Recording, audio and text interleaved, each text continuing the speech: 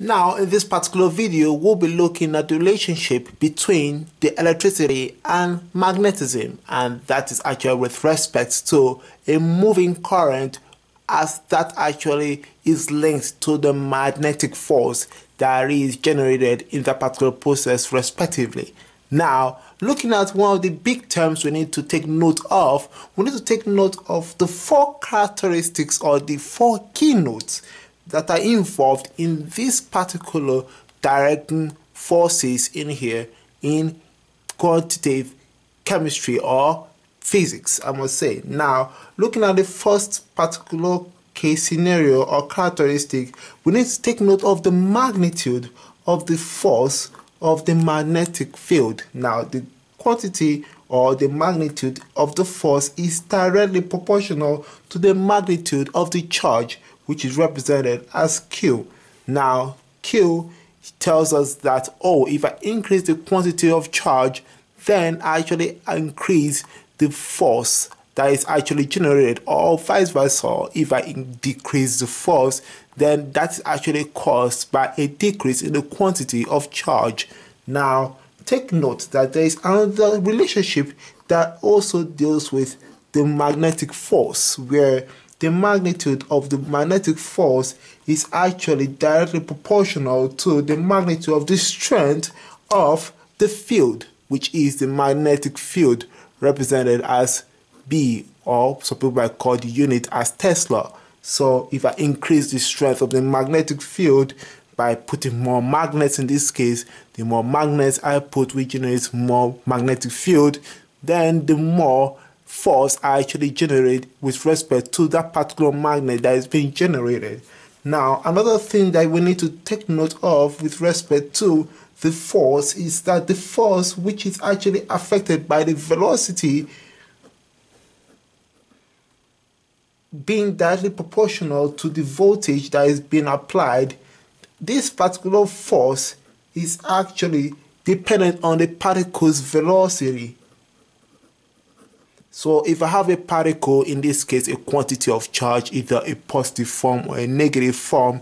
the velocity of that particular charge in a magnetic field actually tells us more about the dependence of it with respect to the force of the magnet in this particular case. So as a result of what we have over here, what we have is a particular diagram which shows us the relationship between all these quantities in here in here we have a quantity of charge moving in a specific magnetic field that is actually on the plane of this particular paper. And this particular particle is pointing a little bit towards us. And now if you look at your x and y and z coordinate in the three dimensions what we realize is that the angle made between the velocity and the magnetic field actually correlates with the force that will be generated in this particular case. Now if i increase the angle, then I have an increase in the force applied. So what do we need to note in here? We need to take note that the magnetic force, which is F, is perpendicular to both the magnetic field and the velocity. Therefore, in this case, we generate a maximum force in this particular process. Now, as we take note that as we increase the angle, we increase the force when the sine of this particular angle is equal to 90 degrees in this particular case or if I say the angle is equal to 90 degrees then we have a sine of 90 degrees which is equal to 1 so if you apply that into one of the most interesting equations that relates the force with the quantity of charge with that of the velocity and the magnetic field which is shown as the force which is equal to the quantity or the magnitude of the quantity of magnetic field multiplied by the cross product of the velocity and the magnetic field will actually tell us that this relationship reveals that the velocity and the magnetic field product is multiplied by sine theta and all this is multiplied by the quantity of charge and that equals to force. Now take note that since sine in this case to get our maximum force is equal to sine 90 then sine 90 here is equal to 1 multiplied by the velocity times the magnetic field and that is multiplied by the quantity of charge either in this case positive charge will give us the maximum force that is being generated in this particular case. Now the other thing around is when we have a case where we have our velocity moving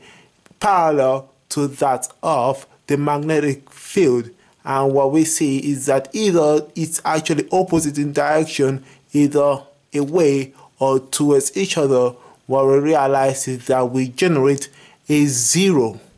force